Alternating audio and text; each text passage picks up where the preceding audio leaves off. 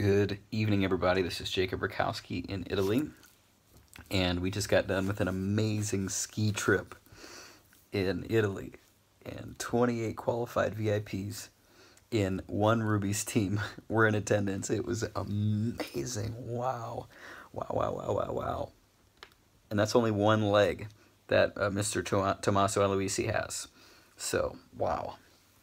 Uh, as you guys saw in the videos before this, the the family, the loyalty, the the unity, the culture is just ridiculous, and you only see one one hundredth of it in these videos. It is just so locked tight, so strong. And the thing is, that does more for your business than any meeting or or any whatever could ever do, because people would will are so passionate and on fire about this business they would never want to do anything else and they'll they'll get the passion and the inspiration they need to succeed so my only tip is make things like that a focus. Spend time with your team. Celebrate people's birthdays big time. Make them a cake.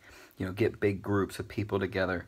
Go on, you know, nice. It was a two day trip, three hours away uh, for skiing in the mountains. And it was very minimal cost. One night in a hotel. Not a lot. Uh, the family and the unity and the glue was just ridiculous. Oh my gosh. And that is what's making this organization over here in Italy grow so big so fast. And that's why I'm over here to learn. So it was amazing. Hope you guys have a beautiful day. Keep on rocking it. Keep it OG, baby. God bless.